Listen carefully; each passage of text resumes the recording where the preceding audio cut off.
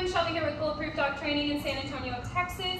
Today I have with me Maeve. She is a five-month-old German Shepherd puppy that was dropped off by her parents today. Um, looks like she has some very common issues that you see in puppies. Leash pulling, she likes to jump on people. She does get a little bit mouthy whenever she starts to play. And apparently yesterday she decided to counter surf, which kind of scared her parents a little bit. They weren't expecting it. Um, she's also a little shy around new people, so we're gonna try and build up her confidence while she's here. She did go through our puppy class, so let's see if she remembers anything from it. Maeve here? I said good girl! That was good. Maeve seats? Can you seats? Seats?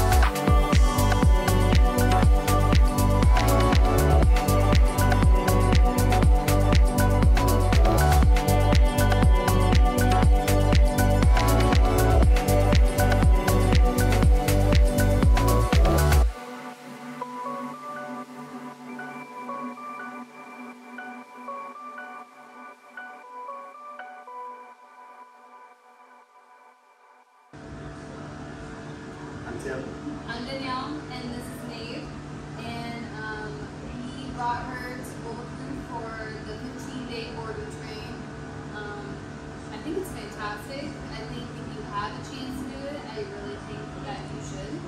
Um, all every person that works here is just fantastic. They make you feel a part of the family. They make sure your dog feels like a part of the family.